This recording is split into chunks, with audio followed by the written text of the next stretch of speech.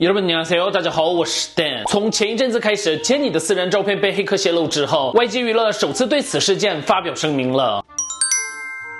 今天，YG 娱乐官方声明，公司对于最初散播杰尼照片的人，正式向警方委托调查了。YG 有对此事件继续观察并搜集了资料，九月份提出了诉状。YG 为了想要让受害最小化，一直以来都没有提起或者发表任何立场。但是最近因为从个人照片导致的谣言扩散、谴责、人身攻击、性骚扰、隐私侵害非常频繁，所以感到无法再坐视不管的责任了。对于之后发生的受害事项，会采取所有法律手段，无宽容对应。而目前网络上散播的照片是与本人一直无关、非法公开的照片，分。想传播这些照片的行为将会是二次加害以及是要被处罚的对象，请求大家不要盲目的分享散播。我们来看一下韩国网友们的反应：拿着别人的私生活当成趋势消费散播的人真的太恶心了，希望都能被提高。散播的人还有添油加醋的人，趁这个机会都抓去吧。但是最初上传的人好像是外国人，能抓到吗？希望一定能抓到。管他最初上传的人是不是外国人，兴奋的分享照片，二次加害的人也都抓去吧。他们也真的很恶劣。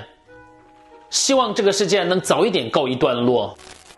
下个消息是，二零二二年的 Mnet 妈妈颁奖典礼将于十一月二十九号、三十号两天在日本大阪举行。所以今天我们就来看一下韩国网友们整理的十场历代妈妈最震撼的传奇舞台。所以今年在大阪举行妈妈跟震撼舞台有什么关系？没有关系。二零零五年普瓦 Over the Top 舞台，二零零六年我们叫瓦有望也举环舞台。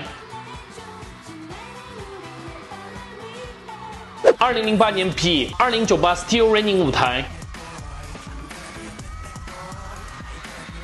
二零零八年 Yuri Big Bang 舞台，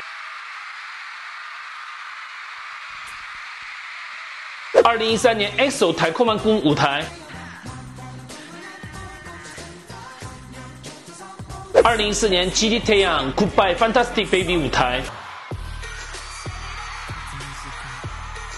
二零一五年 JYP Sense of Swing 舞台，二零一七年 BTS Cypher for Michael Jo 舞台，二零一八年妈妈姆 Born to Be 妈妈姆舞台，二零一九年 JYPM 妈妈姆舞台。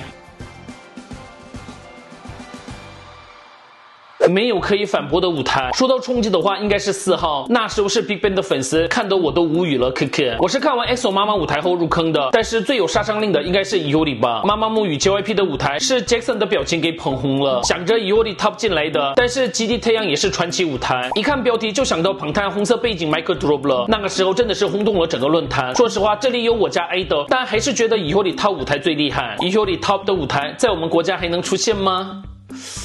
所以，华语圈的大家觉得最震撼的妈妈舞台是哪一个呢？